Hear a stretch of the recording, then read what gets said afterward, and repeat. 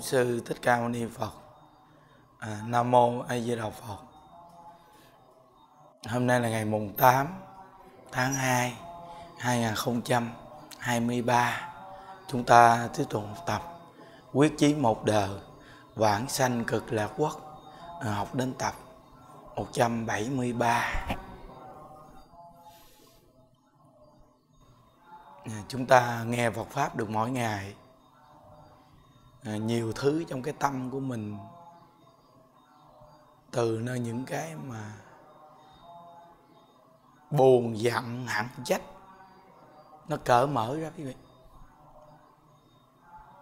Nhớ đã là nghe đạo tin sâu nhân quả thì tất cả những cái buồn giận hận trách quá giải quá giải liền.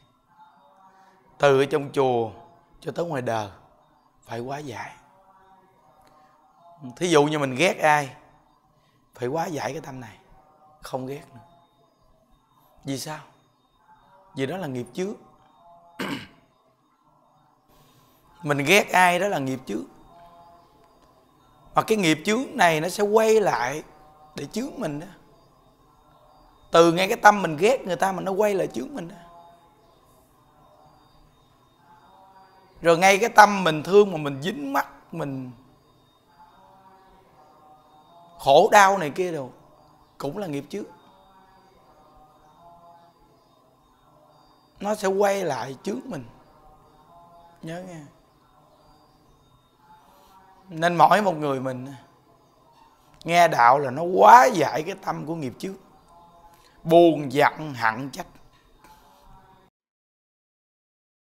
niệm một câu Phật hiệu này để quá giải những cái tâm buồn, giận, hận trách thí dụ như mình ở ngoài đời, nhà chòm sớm hai nhà hận ghét nhau, giận nhau thời gian lâu. Bây giờ mình nghe đạo, mình biết tu rồi, mình phải quá giải cái tâm này liền. Nếu như đủ duyên, mình phải kết nối lại cái tình làng nghỉ sớm không có quán hận nhau nữa mình nói rằng từ khi tôi nghe Phật pháp tôi hiểu. Cái tâm buồn giận hận trách này đó là cái điều không tốt đẹp gì. Giờ tôi với anh chị nhà chòm sớm có vui cỡ nào nhưng gặp mặt nhau là cảm thấy khó chịu. Tại sao mình không sống trong một cái xã hội hài hòa? Mà mình đi, đi hận ghét nhau làm chi để gặp nhau rồi cảm thấy trong lòng khó chịu nên nghe đạo, hiểu được định lực nhân quả. Tôi thấy tôi có lỗi. Tôi xin lỗi anh chị. Chúng ta làm quà đi. Nếu như mình học phật rồi mà mình đều là quá giải được cái cái hận thù, thì cái việc này mình học phật có kết quả. Còn nếu như mình học phật mà mình còn hận ai để trong tâm, ghét cay, ghét đắng, không sợ ra, thì sự học phật của mình tệ quá giống như mỗi ngày mình tích tụ những chất độc trong cơ thể mình. Dù người ta đã từng đối xử tệ bạc cỡ nào với mình, nhưng mình học phật mình hiểu sâu nhân quả, nên mình quá giải cái tâm liền. Giống như pháp sư hải khánh, ta đối xử tệ ngài cỡ nào, ta chữ ngài, đánh ngài, hại ngài, đối xử tệ bạc với ngài. Ngài đều nói một câu là nghiệp chướng của tôi. Do nghiệp chướng của tôi nên quá giải ngài đều nói câu vậy nghiệp chướng của ngài nên quá dài. Ngài không cho ai chen vào nghiệp chướng đó. Mà ngài đều nói rằng, thôi, đây là nghiệp chướng của tôi, nên tôi quá giải tôi muốn về cực lạc nên tôi quá giải hết. Chúng ta nên học theo quý vị. Mình muốn về cực lạc, quyết chí đời này về cực lạc thì phải quá giải hết. Cái buồn giận hận trách đố kỵ hơn thua. Thì quá giải cái tâm này liền. Không có được để cái tâm này. Thí dụ như mình sống trong một gia đình mình ngày xưa chưa học Phật, có những cái hiềm khích hơn thua chòm xớp hoặc là gia đình, anh em. Bây giờ mình học Phật rồi, mình phải tìm mọi cách làm sao để quá giải cái cách quá giải là ngay chỗ mình chịu thiệt, đừng có bao giờ phân tách ra cái việc anh đúng, anh sai gì mà mình sai. Mình là người học phật mình sai. Rồi là quá giải liền. Như ngày xưa như đức mới đi vô chùa, có một cái chú này ông trở ngại như đức suốt luôn. Ông lớn tuổi. Trở ngại suốt luôn. Trong lòng mình cũng ghét cay, ghét đắng ông cuối cùng những đức suy nghĩ không lẽ mình đi vô đây mà nó bị trở ngại, từ ông này chở. Cho nên mình tu mà gặp ông này cũng trở ngại, mình hoài. Bây giờ không lẽ từ đây mà mình trở ngại ông, từ ông này mình khó chịu vui nhưng mà gặp mặt ông là bực bội liền. Tại sao kỳ ta? Từ đó về sau, những đức quyết tâm, những đức phải quá giải cái việc bực bội khó chịu ông này. Những đứa không có ghét ông nữa. Thí dụ như ngồi kế bên ăn cơm chung gì, những đứa cảm thấy hài hòa với ông lại. Có khi có đồ ăn ngon, những đứa còn chia cho ông ăn. Từ cái tâm nó tự nhiên những đứa hết ghét ông khi hết ghét ông là tự ông thương mình liền thì ta quá giải liền quý vị. Nên mình là người tu đạo, cái tâm quá giải này phải cực kỳ cao. Nhất là bây giờ, từ đây tới 19 tháng 2 mấy anh em xuất gia bên chùa mình. Cư sĩ rồi đó. Chuẩn bị xuất gia. Coi lại coi tất cả những cái tâm gì trong lòng mình, những cái bụi trần ở trong tâm mình. Những đức nói bụi bặm, rác rến, đây là cái chuyện buồn giận hận trách còn những gì chưa cởi mở ra được cởi mở ra hết đi. Giải tỏa hết đi. Trước ngày xuất gia. Trong lòng không vừa bụng ai, không vừa ý ai, cởi mở rõ ràng, dám nói thẳng, từ hôm nay tôi không bao giờ như vậy nữa. Tôi xin lỗi người. Tôi sắp sửa xuất gia rồi, tôi không bao giờ muốn để những thứ này trong tâm nữa. Rồi điện thoại cho cha mẹ này kia được người thăng đều lên. Rồi cha mẹ người thăng lên nói rõ ràng với cha mẹ. Con xuất gia học phật. Từ hôm nay con là đệ tử của phật. Ở trong ngôi nhà tam bảo. Dù cái thân thể này cha mẹ cho con, nhưng con có thể phụng dưỡng cha mẹ ở trong ngôi tam bảo này được. Còn cái việc mà gia đình này kia mà cha mẹ kêu con về để xử lý, thì con không còn cái việc gì để về nhà xử lý hết.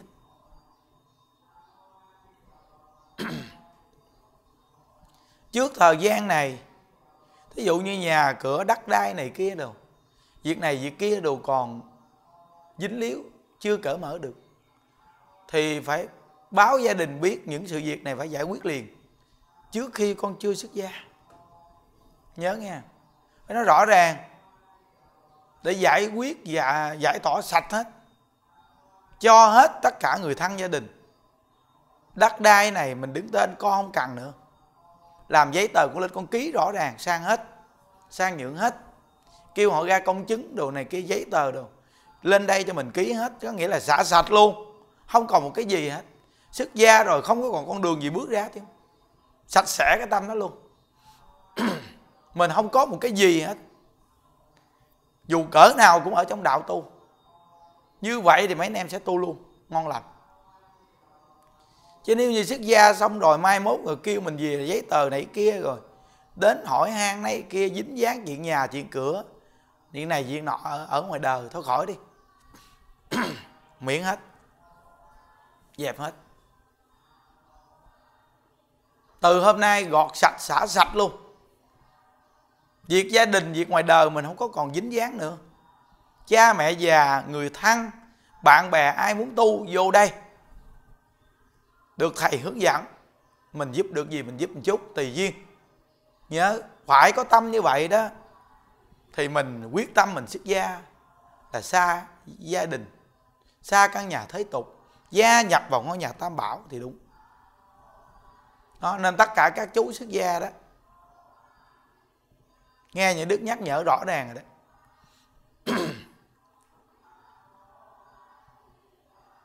còn thí dụ như bây giờ, có những chú cũng có gia đình, phải quyết tâm rõ ràng, nói rõ ràng hết.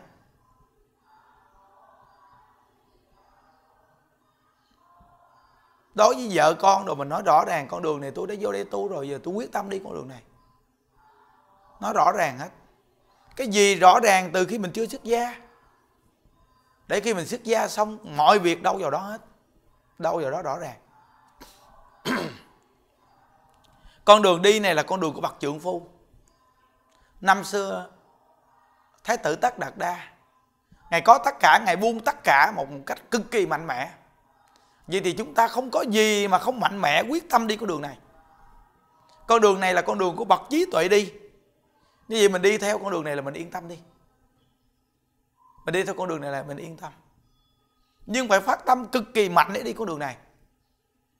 Tất cả những cái chuyện mà buồn giận hận trách về ai phải sở sạch trước khi mình chưa xuất gia. Xả sạch hết đi. Còn hàng phật tử tu cầu giải thoát cũng gì giải tỏa những cái tâm này hết. Hoặc là vợ chồng sống với nhau mà bây giờ chia tay nhau. Không bao giờ mình hận người ta nữa. Tại vì mình đã quyết chí đời này niệm phật cầu sanh cực lạc rồi mình ôm cái tâm hận thù đó là độc địa. Độc nó ngâm ngắm trong tâm mình hoài những cái thứ độc này thôi, không nên. Xả ra cỡ mở ra liền. Đừng nên để những cái thứ độc địa trong tâm nữa. Phải hiểu. Hiểu được nguyên lý này rồi là tự nhiên mình tu học cực kỳ lợi ích luôn. Nhớ nghe. Nghe những đức chia sẻ. Nhắc nhở mỗi ngày. Đừng buồn giận ai để trong tâm buồn giận người ta để trong tâm là cái việc này không có tốt đẹp gì đâu. Buồn giận để trong tâm để làm gì? Không có ý nghĩa gì hết. Nhớ.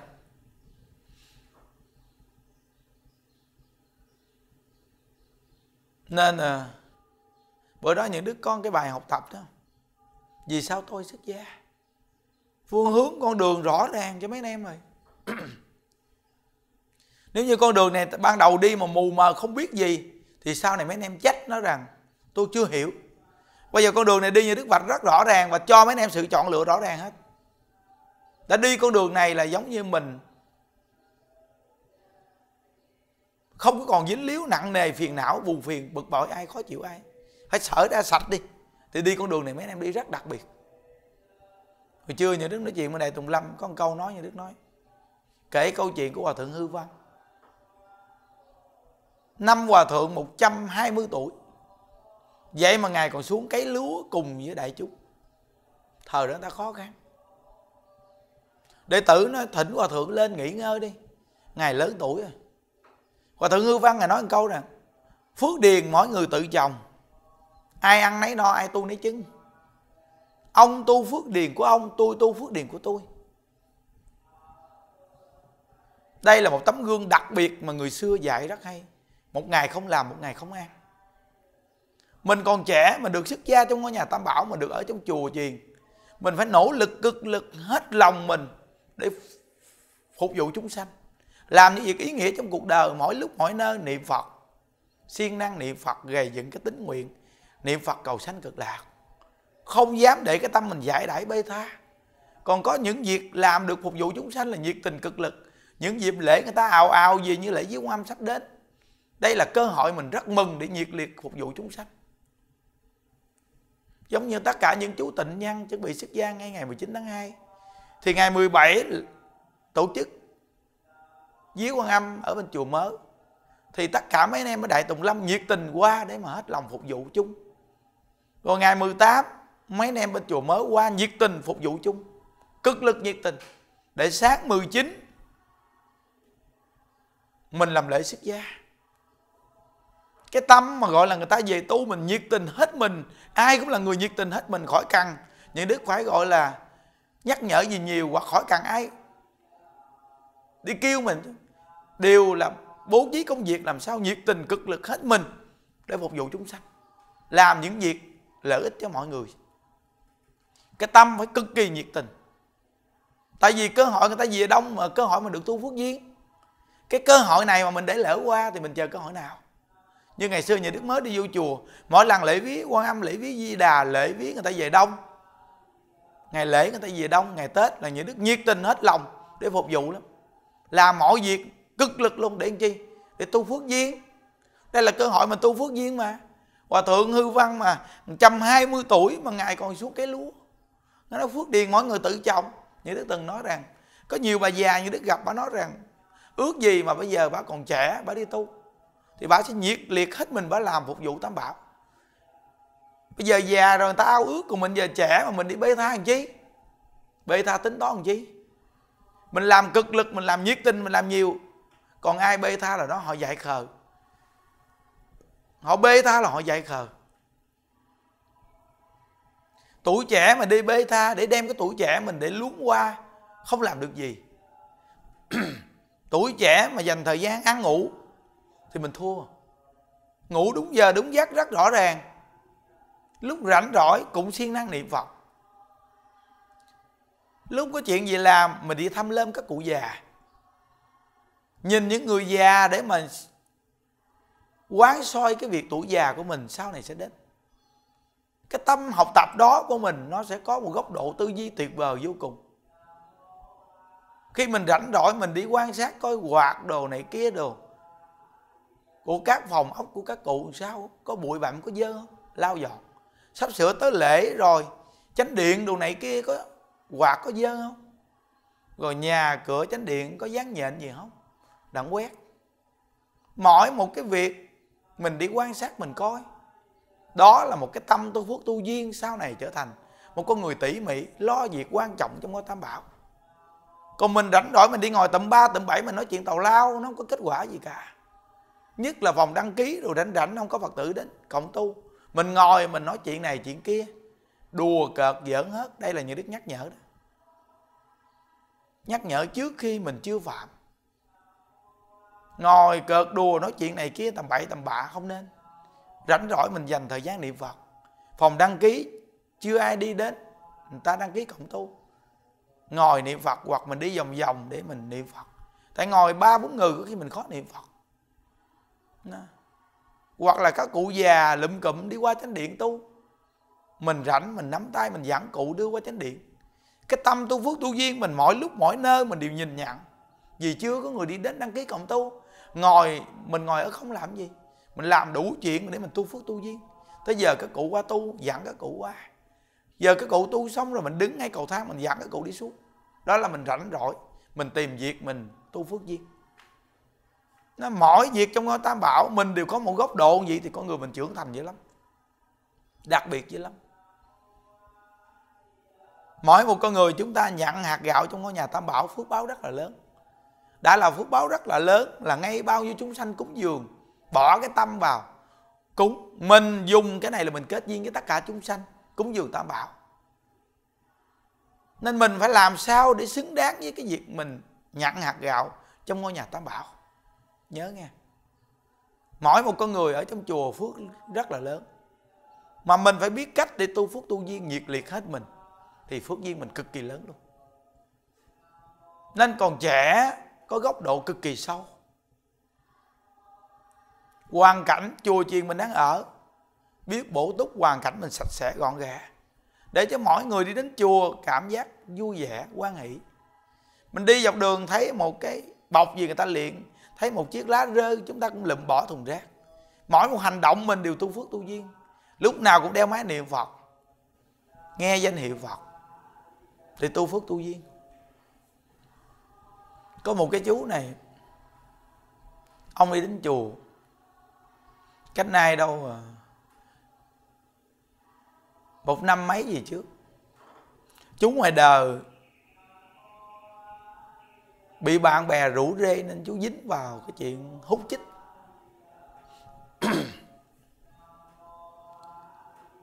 Gia đình của chú cũng nghe được Phật pháp, nghe mình giảng. Rồi bắt đầu ờ, cho chú nghe. Chú nghe rồi chú nói bây giờ chú muốn thật sự muốn quay đầu. Thật sự muốn quay đầu. Muốn làm một con người sống có ý nghĩa chứ không thể nào làm con ma nghiện này được. Sống cuộc đời vô nghĩa lắm. Khi chú nghe nhà đức giảng rồi chú tự phấn chấn lên. Chú muốn quay đầu thật sự, muốn quay đầu. Thì gia đình đưa vào trong chùa để chú xin chú ở cộng tu thì khi chú đi vào trong chùa thì chú cực lực chú nhiệt tình chú hết mình. Có nghĩa là chú làm để chú quên sạch hết những cái tư tưởng sai lầm của chú rồi lên tu đồ chú, cực lực, ai nói gì chú cũng hạ mình, chịu thiệt được hết hoàn toàn luôn. Thì chú ở được đâu 3 tháng, thì tự nhiên con người chú phấn chấn lên, khỏe lại, tỉnh táo lại hết. Sắc diện tốt, mập mạp lên liền. Nhưng mà cái ban đầu chịu khó, cực kỳ chịu khó luôn. Vất vả, vô cùng. Khi cắt cơn, khó khăn lắm nhưng con người mình chỉ cần vượt qua được một lần hai lần khó khăn đó. Mình chỉ cần vượt qua thì mình sẽ có đủ kinh nghiệm, đủ bản lãnh, khả năng để tự tin rằng mình sẽ vượt qua tất cả những cái khó khăn. Nếu mình không vượt qua cái khó khăn thì cả đời của mình phải chịu khổ, đau, mãi mãi. Thà mình quyết định sống chết để vượt qua thì tức khắc vượt qua nên mỗi một con người mình mình hư, mình sai một cái gì, mình chỉ cần có một cái tâm quyết sửa đổi là sửa đổi được liền.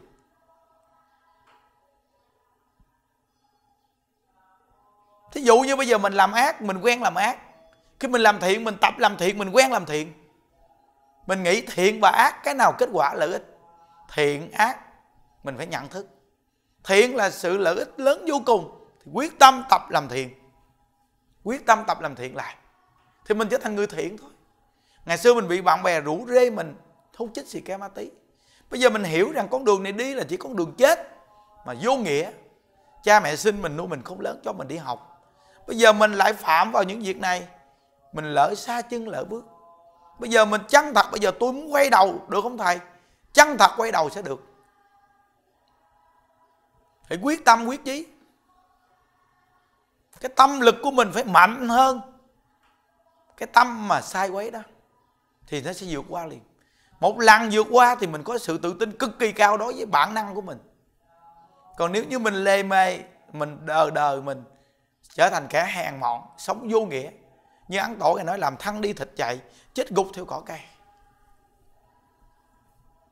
Phải có tâm quyết cực kỳ cao. Tất cả những gì người ta làm được, mình nhất định sẽ làm được. Đó là việc thiện. Tại vì việc ác người ta làm được, mình cũng làm được. Gì? Việc thiện người ta làm được, mình cũng làm được. Mình phải làm con người sống có ý nghĩa, sống có phẩm chất, sống có tư tưởng.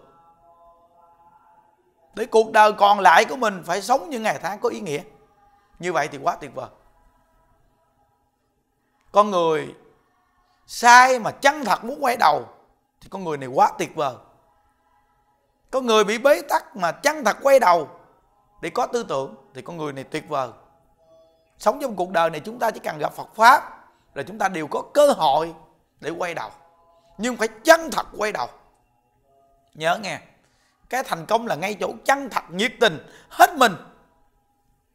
Nên trong ngôi tam bảo đông, mỗi một con người nên phấn đấu vì cái làm thiện, phấn đấu vì tu phước tu duyên, nhiệt tình hết mình.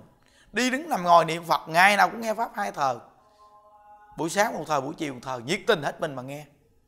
Để nhắc nhở mình, bây giờ quý vị nghe cái công đoạn này thôi, quý vị nhắc nhở quý vị, đúng không? Bây giờ có buồn giận ai không? Dạ có, quá giải dạ không, tốt quá, niệm phật liền. Còn còn hận thù người ta phải không? A di đà phật, quá giải liền, không có để lâu. Nhớ đó. Mỗi một người trẻ tuổi mình gặp phật pháp là quá mừng rồi. Còn mỗi một cụ già đang được ở trong chùa là mừng quá rồi thời gian mình như ngọn đèn treo trước gió phải nỗ lực lên, phải cố gắng lên. Phải biết khoảng thời gian ngắn này, phật đến trước mình là đi về cực lạc liền. Cái tâm đó phải phát cực kỳ mạnh lên. Các cụ già khắp nơi nơi cũng vậy. Hôm qua nhà đức có một bài học tập gọi là phật pháp cứu cuộc đời tôi. Rõ ràng, chính bản thân người đức gặp phật pháp cứu cuộc đời mình nè. Nhờ phật pháp cứu cuộc đời mình nè nhờ Phật pháp vớt được cái bản thân người, hư hỏng của mình, đưa lên một chiếc thuyền từ bi trí tuệ. Mà mình, cái tâm mình phải chân thật hướng đến, thì mình được lên cái thiền từ bi trí tuệ. Mà cái thiền từ bi trí tuệ này giúp cho mình nhìn nhận ra những gì mình sai, mình sống không có ý nghĩa. Mình bây giờ sống những ngày tháng có ý nghĩa. Nên những đức nói rằng phật pháp cứu đời tôi. Nên mỗi một con người chúng ta gặp Phật Pháp phải nhớ cái câu Phật Pháp cứu đời chúng ta. Phật Pháp cho chúng ta tư tưởng Cứu cuộc đời chúng ta. Thí dụ như những người người ta cai nghiện này kia đâu Vừa đưa vào cái thế cai nghiện Nhưng phải đưa vô cho họ một tư tưởng. Cho họ một tư tưởng. Không lẽ bây giờ chịu sống như ngày tháng vô nghĩa? Những ngày tháng giống như là trốn đâu này trốn đâu kia để làm những cái việc làm không phải một con người chính chắn. Đưa họ một tư tưởng để cởi mở họ và phấn đấu tư tưởng họ lên. Vừa có biện pháp mà vừa có tư tưởng giúp cho họ để trở thành một công dân tốt, một công dân lành mạnh. Những con người này họ chỉ cần quay đầu được thì về sau họ là một con người khó bị ô nhiễm lắm. Tại họ đã có bản lãnh vượt qua những cái khó khăn nhất mà họ phạm phải, bây giờ họ vượt qua thì họ trở thành con người đặc biệt lắm. Nhưng phải có tâm quyết cực kỳ mạnh. Dù vừa có biện pháp là mình không có đi ra bên ngoài, mình không có cơ hội để phạm phải thêm một cái là được nghe đạo phát triển tư tưởng, cho mình một tư tưởng sống phát triển, làm người tuyệt vời, làm người sống có ý nghĩa, để giúp cho cha mẹ, người thân được vui lòng, nở mặt, nở mày vì mình nó bây giờ mấy anh em chuẩn bị xuất gia có gì không? Người thân, cha, mẹ, bạn bè, chuyến này có nhiều người đến. Mình nên bảo, báo cho người ta biết để người ta đến. Ta đến càng đông càng tốt để kết cái duyên xuất gia. Hiểu chưa? Và thêm nhiều người biết gì để bản thân mình cố gắng. Bản thân mình cố gắng. Đi con đường này cả đời không thể nào bước ra được. Mình mà tu, mình bước ra là gia đình người thân mình đều bị ảnh hưởng hết. Ban đầu mình đi tu, người ta nhìn thấy mình, người ta ngưỡng mộ vô cùng. Vậy mà mình bỏ chùa mình đi là làm ảnh hưởng tất cả người. Người ta ngưỡng mộ mình, bây giờ làm cho người ta tan vỡ cái tâm ngưỡng mộ đó, thất bại. Nên phải phát tâm cực kỳ mạnh. Người ngoài đời mình nghe đạo rồi, mình đi đến chùa thường xuyên bao nhiêu cặp mắt người ta đang nhìn mình. Bản thân mình phải học phật làm sao an lạc cho vui. Không có bực dọc, khó chịu gì làm cho người ta mất tính tâm với Phật pháp. Nếu không, người ta nói, bà đó, từng nào cũng đi chùa, mà tính nào thật nấy gì mà đi chùa chi? Bây giờ tôi cũng khỏi đi chùa luôn. Đi chùa mà gì đi làm gì? Thấy không? Đó, người ta phỉ bán Phật pháp á giỡn đâu. Nên mỗi một con người chúng ta nghe đạo là có góc độ tư duy sâu sắc đừng buồn dặn người để trong tâm là việc cực kỳ hay. Muốn làm được điều này phải nhớ phật, niệm phật và muốn sanh cực lạc. Thì tất cả những việc này nhất định chúng ta sẽ làm được và sửa đổi lỗi làm trở thành người tốt. Nguyện tam bảo gia hộ cho mỗi một con người chúng ta, nghe đạo mỗi ngày, phát triển được cái tâm thiện tính nguyện niệm phật kiên cố, cả đời không thay đổi. Cuối đời chúng ta đều hẹn gặp ở tây phương cực lạc. Chúc quý vị an lạc. An di đà phật nguyện à, đem à, công à, đức này hướng về khắp tất cả đệ tử và chúng sanh, đồng sanh về tịnh độ.